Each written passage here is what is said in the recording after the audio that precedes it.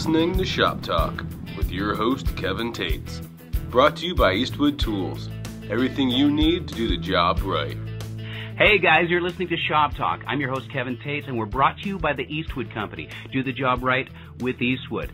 Well, I'm not going to babble on about an introduction for the next guy because he needs no introduction. Uh, Eddie Paul is with us. Eddie, how are you, man? I'm doing good. How you doing back there? We are doing great. Tennessee has had a weird, weird, weird weather winter. I know you guys have also in, in California, but it's gone from like mid 70s to to uh, like the 30s and stuff like that within a few hours' notice. It's kind of bizarre. Yeah, I bet. Yeah, I, I actually almost had to not wear a T-shirt to work today. It was getting a little nippy out here. But uh, yeah, rub it in. Now. It's, uh, yeah, you guys are no stranger to weird weather patterns, El Nino and and all that kind of stuff that comes through there. But uh, I spent a little bit of time out in California a long, long time ago when I was uh, starving in the music industry, and I love the vibe. I love California. And uh, for our listeners, where are you in the state of California? Oh, we're right next to LAX airport. We can literally see the airplanes land from my shop, so it's it's really convenient if we do a lot of traveling. That's pretty cool. So, yeah, LAX, the uh, they they kind of do a sort of a buzz pass over over the inter- interstate, don't they? Oh yeah. Yeah, they buzz pass over our house too sometimes, which is a little scary. We don't know if it's an earthquake or an airplane coming in for a abrupt landing. yeah, no kidding.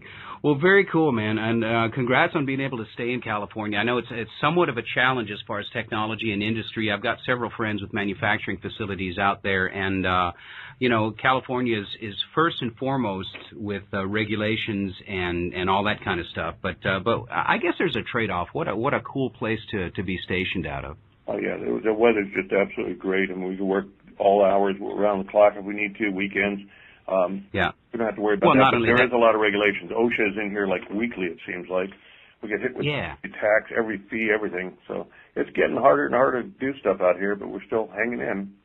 Yeah, well, I worked at a restoration shop uh, down in uh, just off Venice Beach in in the mid '80s. I think 80, 86 or '87. It was a shop called Alejandro Porsche, and, and we were regulated. We couldn't wet sand. We had we couldn't water sand clear coats or anything and have it go down into the drainage. So it's it's nothing new.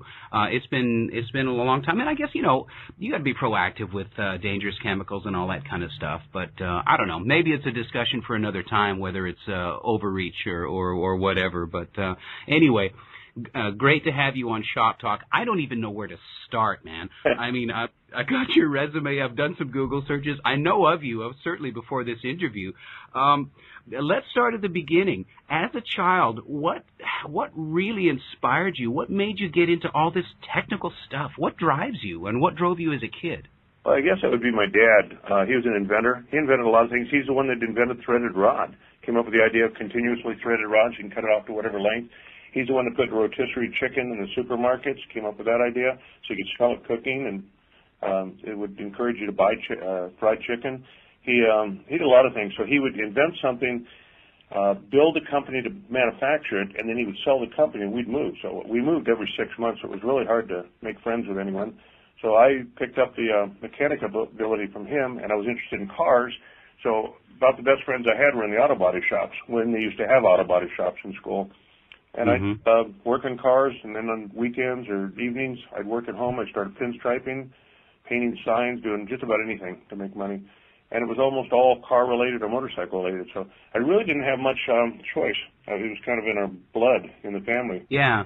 Isn't that interesting how it's sort of a, a DNA thing? My brother and I are both automotive, and my dad was automotive as well. And and uh, you know, my brother's a heavy duty uh, mechanic up in the mines in Northwest Territories, operating the big machines, and uh, actually he's a foreman now. But uh, it's just it's in you, it's in our blood. And uh, uh, I want to go back and thank your dad for all thread and rotisserie chicken. So uh, both things are are necessary in my book. But um, so kind of like uh I don't know. Uh, forgive the term. Kind of like uh, they they call them uh, Navy brats, but it's it's kids that are with parents in in the services that are restationed and redeployed and stationed everywhere else. You kind of learn how to to make your own way, to forge your own alliances, and also for me, I was kind of like that too, with a different set of circumstances. We moved, I think, 13 times before I was a teenager. So for me personally, what that did is it taught me to look inward uh, for a lot of different things, as well as uh, inspiration inspiration and just kind of ideas. So, would you say that that uh, that helped you, or uh, did it make you a social recluse? You know, I don't know. I really don't because um, I don't have a lot of real friends. I have a lot of associates. So we've learned the value of real friends. We have a few good friends that'll do anything for you. Um, so I think I've just learned to to depend more on myself and um, of course my wife. We we do everything together. We build houses together. We work on cars. Um, she's a big part of this. In fact, we're writing a book right now and we're we're co-authoring it, which is kind of neat. So um, you just uh, learn to depend on a very few people that you can depend on and it um, inspired me to read more. I do a lot of artwork, so I, I just do stuff that doesn't rely on other people. I was never into sports, never cared anything about football, baseball, uh, but I did like wrestling. I like the one-on-one where you're responsible yeah. for the outcome. You either win or you lose. You're not dependent on a teammate that yeah loses for you. So I, it, it makes you different. Um, I don't think it's antisocial or anything.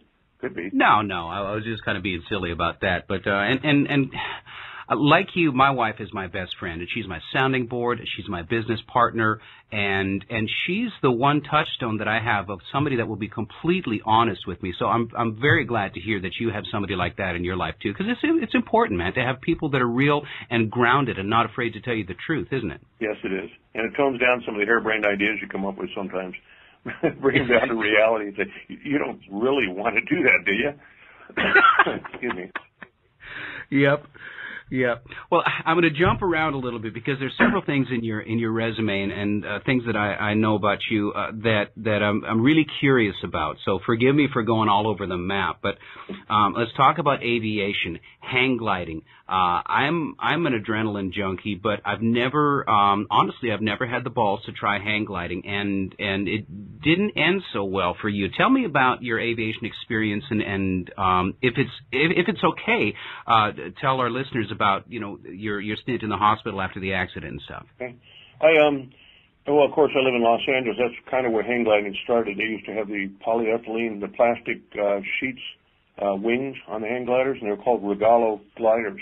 And you take some, they started with bamboo. You take bamboo strips and you put plastic on top, made a delta wing glider, and jump mm-hmm. off a sand dune or a cliff. So we kind of advanced it because being an inventor, like my dad, I came up with a better glider that would fold up into a small package, and we put Dacron sails, and we started advancing hang gliding. Uh, and when you do that, you experiment a lot. You make, you know, you build the glider so light that it finally breaks, and you go back to a little bit stronger. And you do the testing low altitude and all that. Um, anyway, I uh, flew out here, did all, I had all kinds of gliders. We were selling them, making a pretty good living at it, working out of my house. And to cut to the chase, um, I'd been manufacturing gliders for about five, six years, and then I made one really lightweight um, that I was testing. I wouldn't sell it, but I was testing it. And I went down to the Torrance Beach, and it was a real high wind. It was 60 mile an hour winds. We had a windstorm here. And a couple people had crashed that I didn't know before I got there. I mean, I didn't know they crashed. And everybody there, because it was competition, were egging me on to test my glider. Says, I bet you can't handle this kind of wind. And I was young and stupid, and I thought, well, I'll give it a try. I can always land. Um, got to the top of a 100 foot cliff, leaped off, and went up 250 feet almost immediately like a freight elevator. And then the wind stopped, and the hang glider's weight shift. So I was pulled forward on the control bar trying to get the nose down to lose altitude.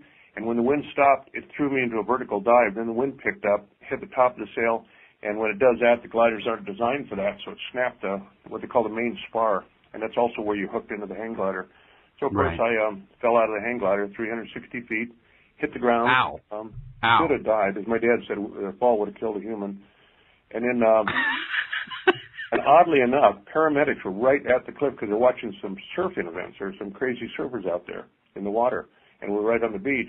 So they saw the, gl- the glider crash and ran down to get me out of there. Took me to the hospital. And again, long story short, it's uh, I was in six months in uh, Harbor General Hospital. I had a busted pelvis, uh, ruptured diaphragm, six organs hemorrhaging, concussion, broken back, broken legs, uh, broken feet. Pretty bad shape. Then I got a pulmonary embolism while I was in there. They had me in a sling, so I'd never walk again. If I walked, I'd limp real bad. Um, I got through it. Six months in the hospital, six months in a wheelchair, and started building a jet-powered hang glider as soon as I got well enough to move around. Unfortunately, my wife came out and put an end to that, so I didn't. powered hang glider. Well, let me ask you something philosophical, if it's even that type of a question. Uh, a lot of people talk about coming back from a traumatic injury with a renewed sense of of the amount of time that we've got here on this earth. You know, I mean, the the the saying is, and it's not mine, but I subscribe to it, is nobody gets out of here alive. So Oh. did that inspire you to to or did it give you a renewed sense of energy uh, to to go forward? Because let me tell you, I mean, reading your resume, I thought I was a multitasker. And you go way over and above. You know, I'm not trying to blow smoke up your butt or nothing like that, but but you go way over and above what what normal people would have been satisfied with uh, with achievements, and and it's just impressive. So did did that accident and that you know arguably near death experience have uh, any influence on you and your inspiration? I think it did. You definitely rethink life, and you, you know, I keep thinking, if I would have died then, what would I have left behind? I mean, who would even know me or anything? Have I made an improvement in the world? So I started um, with a new attitude of getting as much done in my life as I can, so that when I do die, and we all do do die eventually, um, that I left a history behind that people say, "Wow, he did this." Like I talk about my dad, threaded rod. I mean, everybody knows what that is. He left a mark. Yeah. He did a lot of things like that, and I want to do that. So when you do, you know, do die, you say, well, I've left this behind. I had good morals. He treated us right. He paid his bills. He did all this nice stuff, and and people look up to you like a role model instead of some um, crazy musician, you know, with tattoos and piercings everywhere that does drugs. Kids shouldn't be looking up to them. They should be looking up to people who accomplish good things. And so I guess it did. Uh, it also got me to never fly hang gliders again. So I, yeah. But yeah, I, I always call that the day I dropped out of hang gliding. And um, when I got well enough to, I, I Literally. on the resume, I got into stunt work, which is a whole lot safer than hang gliding. Interesting. Interesting that stunt driving and, and uh, gapping and stunt work is is uh, is safer than than hang gliding. But you know, I, don't know. I, I would argue that skydiving's right up there too. But it, that's another thing I've never done. But uh, I figured out it canceled my life insurance, and, and I think my wife would be pissed if, that happened. So, um, uh, quick question that comes to mind: uh, with all the stuff that you've done, uh, are you an engineer? Uh, no, I never even graduated high school. I went to the 11th grade and then had to drop out to make money. Because I, at uh, 11th grade, I was on my own, living out of a garage that I rented. Um, and I was painting cars and working on motorcycles. I would have loved to have got, gone on, but I just couldn't afford it. But um, no, I um, just Well, self-taught. I- I I, have a lot of books. I have a library here that uh, a lot of en- engineers would love to have. It's on everything. I studied physics and you know electronics and pneumatics and um, you name it, hydraulics, and we work with all that stuff. But one of the things you brought up is the diversification. One thing I'd like to explain on that is I think one of the reasons I'm so diversified in the type of work I do is because I don't like to say no to anybody. So if somebody calls up and says, can you build a shark? My first response is usually, sure, no problem. Um, can you build an airplane? Yeah, I think so. And I take a Yeah. week or so to study up on it. And it's not that hard. So um, we built mechanical horses, uh, submarines, swimming sharks. We did a lot of stuff for um, Discovery for Shark Week. In fact, I just finished a big project for them. Um, just Well, about I, I definitely want to ask you. I definitely want to ask you about your experience with the Cousteau team and, and the animatronic sharks and stuff because that's something that really inspires me and as, as uh, oh, it goes way back for me on on a uh, on a genetic level as far as that goes. But uh, and I definitely want to talk about that subject uh, in here just a little bit. But the reason I ask specifically, are you a degreed engineer?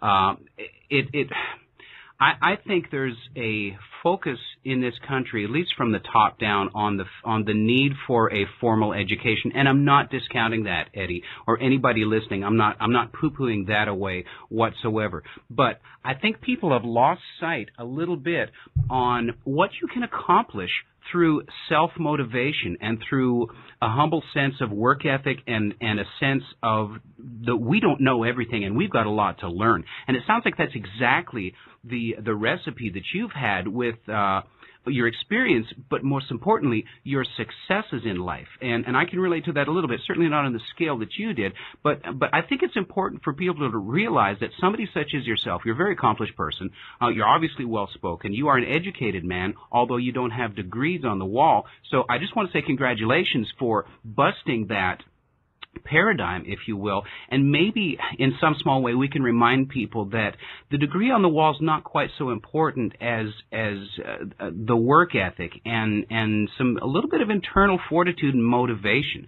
Uh, I think that's maybe lost in today's society. Would you would you say that's a little bit accurate? Yeah, I, I would. Um, we still have to go to engineers. Excuse me. We still have to go to engineers uh, when we build something. Um, I know we've done different devices and, and mechanisms that we have to have an engineer bless it. Even in my house, when I do an addition, I have to go to an engineer and have them okay the plans. They don't do any design, but they look at it and say, yes, this is good, and they sign it off. So it's still good to have that education, but while they're off getting that education, um, I was off learning how to do it myself with my hands on. So when it's all said and done, if we have somebody come in the door and says, I need a job, and he's got experience and tools, I'll hire him in a heartbeat. If he's got a degree right. and no experience and no tools, I can't use him no matter how many degrees he's got. So yeah. the actual the skill is becoming more valuable than the degree right now, I think. Um, the degree does pay you more when you do get the job, but there's a lot of degreed engineers out there that can't get a job anywhere. So um, yeah. I don't know. Yeah. It's a toss-up. It's changing right now. Experience is really paying off and knowing how to use tools.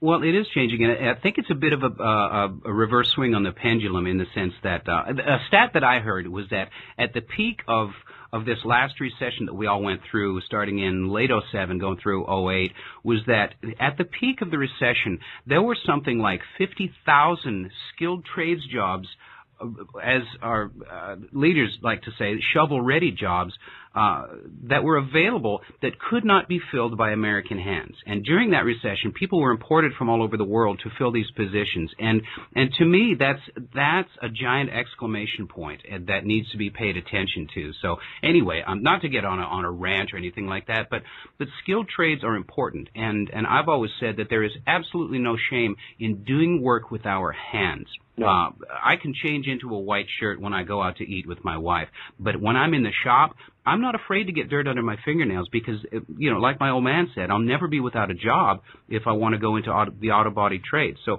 I, I want people to to realize that you can make a nice living uh, without having a, a, like a, a double bachelor's and with a focus in political science. And I'm not making fun of that. Please don't get me wrong. But uh, it, you are the quintessential example of somebody that is a self-made person that um, that did it on their own. So uh, this, and, and you're not the only one. There's lots of people that have done this, and I think the focus needs to be put back on that to a certain extent. Anyway, enough ranting on my. It's a whole show in itself, like you said. yeah, no doubt. Well, as you know, uh, Shop Talk is sponsored by the Eastwood Company, and I'm working closely with Eastwood on a lot of stuff that I find very exciting. Um, you have also an association with the Eastwood Company. As a matter of fact, one of the tools you you designed for them, I'm staring at in my shop. Um, tell me about your association with Eastwood. Okay, um, I've been buying Eastwood tools as long as I can remember, and uh, they always carried unique stuff that nobody else seemed to have, and they were um, they fairly, they were good quality tools. But what I liked about it was if you couldn't find it anywhere else, Eastwood had it. And I called yeah. him up one day and I said, uh, I think you're looking at the same tool I'm talking about. Um, I called him up one day and said, I need a English wheel. I'm going to start shaping some metal for a project. And I'm pretty sure they said, we don't have one. Oh, I'm sorry. No, they said, I think they had the English wheel, but they didn't have a planishing hammer. Or they did, had a planishing hammer, didn't have any. Anyway, they didn't have one of them. So I said, well, um, why don't you sell me the English wheel and I'll make a planishing hammer out of it. And one of the guys there, I think it was Joe Richardson, says, you can do that? I go, oh yeah, no problem. So they sent me one and I made a planishing hammer out of it and they asked for photos. I showed it to them. Next thing you know, they wanted um, me to start building them for them. So we started manufacturing for them. And what I did, which was funny, was I did the frame, the C-shaped frame, for a planishing hammer and an English wheel where you can convert it back and forth. So you can take the frame, nice. add the planishing hammer or the English wheel. And to make it simple for photos, I put two of them on a, a rack together and photographed it. Yeah. So then everybody started ordering the set. So it, it doubled their sales. And for a while, we were making hundreds of those things for them. And it did yeah. real well. I think it launched a lot of the, you know, new planishing hammer English wheels that people are making now. I, I think you're absolutely right, and I think a lot of people have monkeyed your design, and and uh, that's uh, that's a backhanded compliment in itself. But but for me, that tool serves a very specific purpose. I do have a larger English wheel, but that one is bench top, and my planishing hammer is bench top. Let's face it, we're not all making roof skins or door door skins on on cars, and and a smaller wheel with good feedback uh, is is it's pretty essential in in any kind of a fab shop. So um, again, thanks saying it out loud. I appreciate the tool. I had no idea that you uh, that you created it. Uh, of course, with with the Eastwood guys, but um, I don't know. Uh, it's it's a necessity in my shop, and I think they still sell it, don't they? I think they do. I'm not sure. I think it's changed. They got somebody else manufacturing now. It's a little bit different, but it's the same principle. Um, and one of the big things with English wheel, which I'd like to mention, is a lot of people think you put a piece of metal, roll it through once, and you have a compound curve. And, and they tighten it up and they over tighten them on any of those. You don't want to do that. You just want to slowly shape the, the metal. So you want to keep a little bit of pressure on it, not a lot. And that's the biggest yeah. that I find. They say, oh, you know, I ran it through once and it didn't work. Well, run it through 20 times or 100 times. But no, I've got one of my favorite quotes from Ron Covell is that we're communicating with our with our metal Yeah. and we're asking it what we want to, we're asking it nicely to do what we want it to do we're not telling it forcefully and and I think that's a beautiful analogy and and that speaks exactly to what you just said Yeah, people nowadays are in a rush. They want everything instant, instant copy, instant this, instant that. On metal, it doesn't work that way. It takes a little bit of time. yeah yeah, absolutely. Uh, we're talking with Eddie Paul, uh, epindustries.com and eddiepaulstooltalk.com. Let's talk about Tool Talk. What brought this radio show into existence for you? Like you don't have enough to do. Yeah. Why would you want to do a radio talk show? Well, it's funny. I I learned a long, long time ago. I, I took a class in video, and I, my background is film. I worked with Universal and a lot of studios for a long time. Um, I realized that when I bring in a new employee, which is usually totally uneducated on shaping metal or welding or anything, they just come in out of school. And they don't know how to do anything. So we have to go from the ground floor up, teach them how to do stuff, and you can't pay them a lot because you're training them. They're taking our time, and then we have to pay them to listen to us, which is kind of weird. Um, but as soon as they get educated on how to use their hands and shape metal, they quit and they go somewhere else to get more money. And you can't blame them. But I thought this is ridiculous. I'm spending my time, then I get them to the point they can go somewhere else and get a job. So I came up with the idea of doing videos, how-to videos. I started um, doing like how to shape metal, how to do lead work, how to do paint. They were basically a tool that I would give to a new employee when he came in, came in, and I'd say, take this home, watch this tonight, and tomorrow I expect you to know how to do it. And it worked. So we started, um, I think we've got 20, 30 how-to DVDs right now that were meant for employees. And then they started selling them to the public, and we've sold thousands. Eastwood used to handle them for a long time. Um, anyway, it went from that to books. I've written, I think, 10 books on how to do stuff, but it was mainly to teach people, and that's what Tool Talk is. We came up with this idea on the radio where we'll start talking about tools, how to use tools, and it's going it's a podcast, so we're going to eventually start, I think next week, start shooting it and adding video to it, and then bring in people. Um, you know, we had uh, Bernard from Jay Leno's in here, a lot of different people, Ron Covell. Uh, we're going to have Yeah. you on there. We'll just talk about tools and how to use them. And we're hoping Man, it inspires kids to learn how to, to do stuff and find out it's fun to build something. Um, I have a real quick short story. You got a second? Uh, absolutely, yeah, yeah, go for it. When I was young, um, real young, I went to my dad one day and Popular Mechanics came out and had a picture of a mini bike on the cover. And I walked up and I knew he built things because I used to help him at his shop a little bit, doing a little stuff. And I showed it to him. I said, Dad, I want this. And he goes, What? The magazine? You already got it. I go, No, no, no. The mini bike on the cover. I want this mini bike really, really bad. And he goes, Okay, let me see what I can do. And anyway, it sat on his desk for the longest time, and I'd be working in the shop, sweeping up and stuff. So anyway, I he said, uh, "You want that mini bike?" I go, "Yeah." He says, "Come on down to the shop. I got a surprise for you."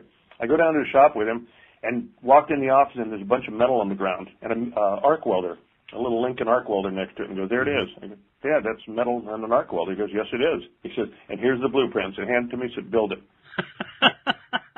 I love it. I was really That's disappointed, but uh, and I was ticked. Anyways, I picked up metal cut and, and he helped me all along the way. But I built the mini bike, and I never liked anything as much as that mini bike because I had so much time into it, and it taught me something. It was really neat. I had Well- pride when some kid on the street would say, "Wow, where'd you get that?" I go, "Built it." and it just felt good. exactly. What a fantastic story, man, and and how cool that is to bond with your dad like that. I mean, you know, lots of kids have great father-son stories and relationships, and and but but what great lessons, you know, and how fantastic it must have been to have to have an old man like that that would that would take the time in in not just stroking a check and buying you what you wanted, but but saw the value in in having you create it. That's that's a great story, dude. Yeah, well, it taught me too that you know if you want something bad enough and you can't get it, you can build it. You can build almost anything. We're building Du- uh, Duesenberg right now for a customer.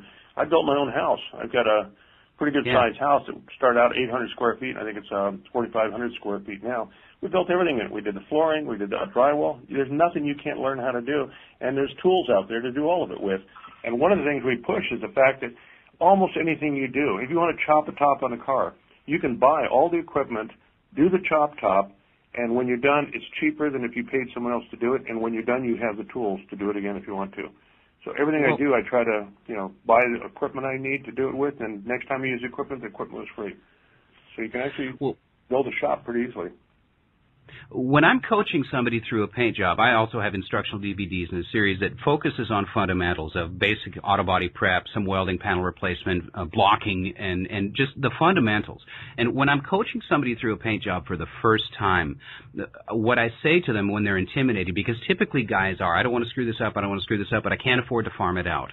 I always tell people that they can screw it up three times and on the fourth time get it right and still come out cheaper than if they had dropped it off at some shop for an extended amount of time. And the added bonus of that is that they've now given themselves uh, some confidence and a new skill set that they can take any direction they want to go. And that's the power of of helping and mentoring people and, and, and creating the videos that you've created and the books and and uh, Eddie Paul's Tool Talk. Uh, you know, we can we can tr- pass these skills on to people, and it's so vitally important that we do because we all had mentors. You had mentors, your father. I'm sure many people through the doors. I've talked to, to a lot of people when I do the the uh, shop talk show, and in my experience, that that um, have crystal clear uh, recollection of people that were instrumental in their lives and passing these skills on to them. And I think it's a huge responsibility for guys like you and me to to take what we've learned from other people and pass it on as well. So uh, applaud you big time for the for the instructional videos. Where would people find some of these videos if they wanted to uh, to buy some of your instructional products? Well, um, right now I think they'd have to go to our website at epindustries.com. But we're talking to Eastwood about picking them up again, and they sent a letter and asked for prices, so it may still be available through Eastwood. We'll find out, or you'll know before Very I cool. do, probably. could be, could be. Well, Eastwood has been a fantastic partner for me, uh, you know, distributing my my DVDs and my my line of of. Uh, of instructional products, and, and we're working on some neat stuff. Um, I finally got a patent on a on a hand tool that I'm working on, and, and I'd love to talk to you about that on the on the Tool Talk show. And and um, I don't know, it's it's just an interesting thing. I'm looking around my shop, Eddie, and um, I've got about probably 2,200, 2,300 square feet here. It's a nice little setup that doubles as a studio for me. Um, your shop is a little different. 25,000 square feet. Uh, Lord knows how many tools. 15 CNC mills. Tell me about your shop and why in the heck do you need a, a, a city block full of covered shop space? You know what's funny too is if I walk out in the shop right now, it's hard to get through the shop. It really is. We have little aisleways because it's so crowded. But we work on a lot of projects and and like I said before, I I hardly turn anything down. If it's over my head, I'll turn it down. But most of the stuff isn't. So we're working on well, right now we're building some fire pumps because I have a patented fire pump. So we're building, I think, six or seven of those for the Department of Forestry. Uh, we're doing aerospace work for a company over here. We do machine work. We do CNC. We do people come up with patents and we build the prototypes for them. We're building, I mentioned the Duesenberg out there, 30s Duesenberg. I had a Model T going. Um, we're building up as a hot rod. I've got a motorcycle. I'm getting ready for a show up in Canada in May. It's a three wheels, 502 Chevy powered um, supercharged engine and you sit in front of the engine instead of behind it. It's got two wheels in front, one in back. Uh, it's going to have machine guns mounted on it. We've got um, the GTO from Triple X. I just finished um, restoring that. I've got a 36 Rolls uh, uh, Phantom that we just restored for a company. So we're doing a lot of different things, and so we need a lot of room and a lot of different tools. We do plasma cutting, vacuum forming, you name it. Uh, we even cast the rubber pedals like the gas pedal for the Duesenberg. You can't buy them, so we designed it made the tooling. Have you got one of the 3D printers in your shop? I don't have one of those. Um, I have a 3D. What do you think about that technology? It's kind of cool. It, I think it's in its infancy, and I purposely didn't get one because they're not expensive. You can easily buy one, but it's it's electronics, and electronics scare me because, like a cell phone, as soon as you buy it, it's almost outdated, or you have to upgrade it. And it's right, the same thing right. with the printers. As soon as I buy one, I know there'll be one twice as big for half the price. So I think I've been holding off, but they are neat. I and they're neat for certain things. But for what we do, most stuff we do is made out of metal, and you can't really print metal at a low cost yet.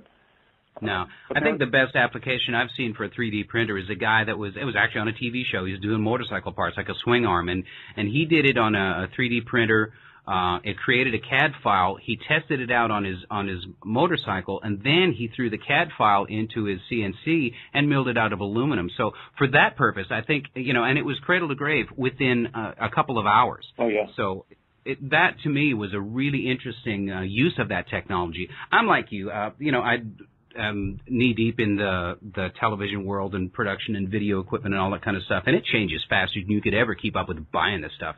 So it's just it's it's just sort of a necessary evil to to dabble your foot into it and spend some money every once in a while. I just didn't know with all the uh, all the equipment that you've had and everything at your disposal, uh, whether whether that was something that you you utilized or not. But uh, it sounds like maybe in the not too distant future you will be. Maybe, and again, uh, that's something there's so many people have it. I may just farm that out. Cause as an example, I I was a keynote speaker for Autodesk in Las Vegas a few years back, and for the event, I talked about how we make sharks um, using AutoCAD and how we design them and things. We make a mechanical swimming shark that's been used in a lot of films. Um, as a as a gift, they printed out a great white shark for me that was, I believe, it was seven feet long, all printed, and gave it to me as a a gift when they were done, when I was done with the keynote speaking. Anyway, I brought it back to shop. It's sitting out there. I found out later it cost them $150,000 to print that. I could have printed that in my shop in half the time for a tenth of that price. So there's just an example of how expensive it was when it first started. And, and that yeah. big piece had to be made in sections and put together.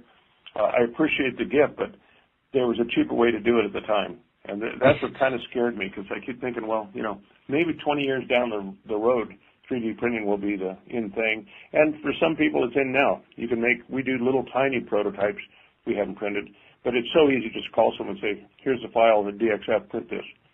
So it's something that takes space, and, and Jay Leno's got one down in his shop, and they use it for making dash knobs and little stuff. But right now, I don't know anybody who's taking it real serious and making products with it. I think it's still in its infancy. So you've got to tell us how you got involved with the Cousteau dive teams and that whole organization. Yeah, that was kind of a weird one. Um, like I say, every I never know what I'm doing next week until the phone rings. Somebody calls, hey, can you do this? It was one of those days where I was working on, um, I think I was doing documentaries for Discovery at the time, doing little stuff for them, little props. And the phone rang, and this guy calls me. His name was Steve Arrington. He's I'm chief diver for Cousteau's in Hollywood because they had an office out here for a while. And he goes, I'd like you to make a tripod, 30 foot tripod for us. We're going to do an underwater shot. We can't find an underwater tripod. So that was easy. So I built that. And then when he found out I could build, um, he asked me if I'd come out on an expedition with him and help him set the thing up and do these, you know, other little projects for him. And I love to, cause I'm, and I love the Cousteaus too. And I mean, to actually get invited to go out with them, um, it was quite an honor. So I took some time off, went out, had a ball. The guys were all great. I mean, it's like a party every day. Just you know, people laughing and playing jokes on each other, and it was just fun. Then you mix it in with some danger with the sharks and things. So it went from that to um, Jean Michel is who I worked for, which was Jacques Cousteau's son, and I worked off the Alcyon, which is a wind ship. Uh, one day he asked me if I could build a shark, um, a great white shark that they could put in the water with the great white sharks to see what it would do. And that was my first challenge. I had two weeks to do it in. I came back, built a mechanical shark that actually swam with an umbilical. Um, so the umbilical ran from the shark to a control. And when I got there, he said, well, jump in the water and operate it. So I had to jump in the water with great white sharks. We had 14 of them and operate stage. I didn't know that when I built it. it was fun. And then the shark, of course, mine was 10 feet long and the one that came up that ate it was 17 feet long, so it tore it to shreds. And we got it all on camera, which is what they wanted. So it worked out really good. Now, arguably, everybody on the planet has seen the film Jaws, and for the time, it was state of the art animatronics and premier quality filmmaking. But now, in comparison, it, it kind of looks fakey. So, how, how did the sharks react to your shark? You know, we're not sure. Um, we put it in the water, and the sharks actually ignored it for a long time, and then started swimming with it. And mine became the dominant shark, which we didn't understand why. And Cousteau's is it's not as much research as it is a film company. They like things that look neat, and, and there is some research, and they bring you know marine biologists out, but nobody there knew. So finally, we tried. We wanted to up the action because swimming next to our shark was nothing. So we put um, we put some chum in it. That didn't seem to help a lot. We put blood in it. That helped a little. But I started making it swim erratic, like it was injured, and that's when the shark came in, just tore it to shreds. So we actually think it was a mercy killing. That it thought you know one of its kind was dying and took it out. Um, that's the only thing that really made any sense. But it was really kind of neat to see and hear because underwater, you know, people don't realize you can hear stuff. So when that big shark bit into mine, mine was made of Lexan stainless and Skinflex.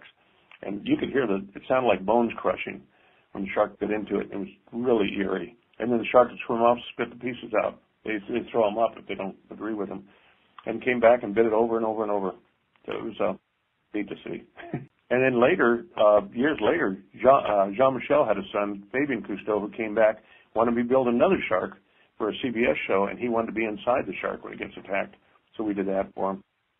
Made that air powered, so it didn't have an umbilical. It was all self-controlled or self-sustaining, and that was a challenge. We had um, about a month to build that one in, but with him inside, it was a real, you know, dangerous. So we had to build that out of a stainless steel roll cage. Made the whole thing with ribs where it would flex back and forth, and they they swam by moving their tail back and forth. How unique, huh? Just like fish. we just copied nature.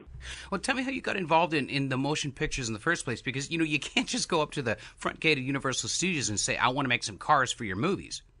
Yeah, like you say, you can't go there and knock on the door and say, "I'd like to do it." They just ignore you, slam the door in your face. Uh, I had a little shop that I started in El Segundo because I was working out of my garage for a long time, and the neighbors were complaining about the noise because I'm banging metal. So I had to move out. So I rented a shop to finish one of my projects in El Segundo, a small shop. Went in there, and I was working on my car, my wife and I uh, trying to finish it up. We are going to be in and out in a month. And then uh, this guy knocked on the door. I thought it was from the city complaining. Um, I opened the door and the guy came in and says, "Yeah, I'm from a studio, and we'd like to know if you could build 48 cars in two weeks for us for a movie called Grease." And at, at the time, you know, everybody knows what Grease is. Back then, I was like, Grease. It sounds like a cooking show. And he goes, it's John Travolta, and I had no idea who John Travolta was. I didn't watch TV. Um, so I go, yeah, we can do that. And, and that was what always gets me in trouble. I say, sure, no problem. And then I look at it later and go, wow, this is a problem. But um, he came in and I, I said, yeah, we can do it. I got to finish my car first because you don't understand. This is a hurry. He put a briefcase on my desk, opened it up, turned it around. It was full of money. I just looked at the money and go, sure, no problem at all. And when do you need them? Two weeks. So we did it. And that's what got us started because name got out then. He would pass out the name to other people and say, this guy built cars for me. If you need them, um, give him a call. And just went on. I was doing five, six shows at the same time. We got a bigger shop, hired more people um, just grew from there. Well, obviously, you get a lot done in a short amount of time. Have you got any advice for somebody like me that's maybe a little unorganized and just as driven? Yeah, I do. Uh, I think you got to be deadline driven. I, I realized a long time ago, you give somebody a million dollars and no deadline and a project, and the project will never be done. It'll be late. But if you give somebody two weeks, something ridiculous, and a certain amount of money, it'll get done. I don't know why that is, but I do the same thing. If I set a deadline, it's got to be done by Friday. It will be done by Friday. Um, but yeah, that's the one thing, you know, a lot of companies don't give you is an absolute extreme deadline and a budget to work off of. Because you kind of work backwards. You know it's got to be done this Friday, and you know you only have this much money, and you work backwards. Where otherwise you just keep working, keep taking money. It become, you know, welfare. well, what's new with you? What have you got coming up, Eddie? Well, we just finished Shark Week. We did some stuff for that. It'll be out. That's uh, the guy that does air jaws, Jeff Kurr. We do stuff for him. We make mechanical sharks, mechanical seals. Did a lot of stuff on that show just sent out. He's filming it now. The biggest thing is I'm co-producing a show with my wife um, with another group out of Australia. It's going to be called The Mystery Wreck of Micronesia, and it's a ship that we discovered 22 years ago when we were diving in um, one of the islands off of Truk, and we found a, a Japanese ship that we think has plutonium in it. So we're going to do a whole documentary on it. We got funding. It just got greenlit, so we're going to go do that. And what we had to do is take a um, we had to sneak a Geiger counter into a, a housing and make it look like a camera so we could take it down and check for radiation levels and things. But that's going to be kind of fun because it's a, a documentary. I love those. And we're going to keep it as factual as possible. And we think if this had plutonium, it's going to change history because that means the, the Japanese were close to building the bomb, a lot closer than we thought. So it takes away a lot of the guilt from World War II. Now, I didn't know this, but you were actually involved in the original Gone in 60 Seconds movie, right? Yeah. Yeah, Toby he was a friend of mine. Yeah, worked on that. And he did about five shows that people don't know about. And he died on the last one. He was doing uh, Gone in 60 Seconds Part 2 where the water tower fell and landed on him. That was back in Buffalo, New York. Uh, yeah, I was a stunt coordinator on a lot of his shows. I wasn't there when he died. I quit five days before it because he was getting too reckless. And I told him, that, you know, if you don't watch it, you're going to kill yourself. And five days later, he did. Well, man, what a great legacy to be a part of. It must be such a, a fun thing to be a part of. Yeah, it is fun. It, it's kind of an example, like you said, too. Um, you know, he wasn't a filmmaker. He was absolutely not. He was a he was a car thief in the beginning. He actually stole cars, and the movie was based on his true life experiences. and then he got into the junkyard and working on cars, but nobody could tell him no. If you tell him you can't do something, he'd do it. And that's you got you got to do that. You can't tell have people say that can't be done, and then you do it and you you prove to them it can be done.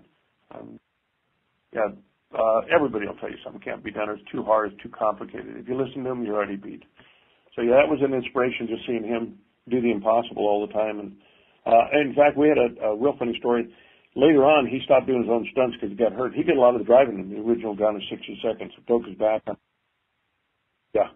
And he broke his back and wouldn't go to the hospital. He's too stubborn. He cracked some vertebrae and, he kind of powered through the show.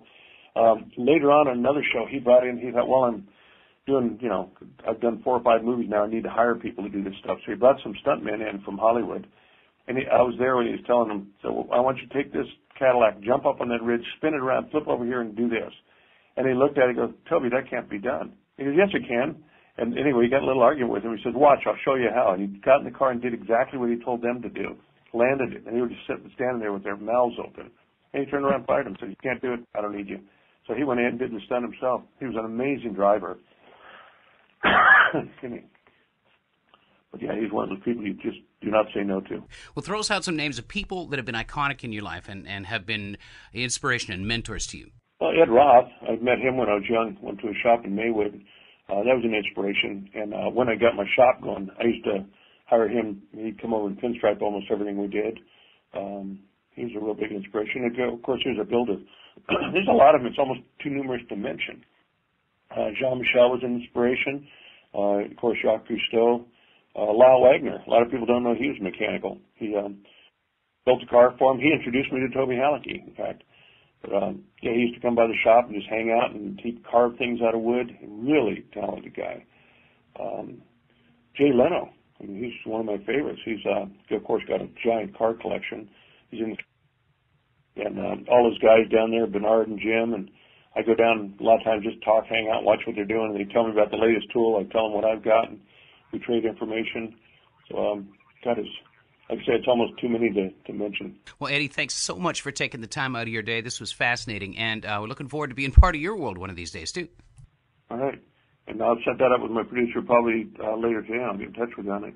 It'll be fun. I like to hear all the stuff you're doing. Man, that's awesome. Well, people, we've been listening to Eddie Paul on Shop Talk. So make sure you check out Eddie Paul's Tool Talk radio show as well as the EP Industries website. There's some fascinating photos and some a pretty good bit of Eddie's history on there. And as always, send us some email. And we're giving away prizes when we ask your questions on the air. So there's lots of stuff to win. Remember, do the job right with Eastwood. I'm Kevin Tetz, and thanks for listening. We'll see you in the main.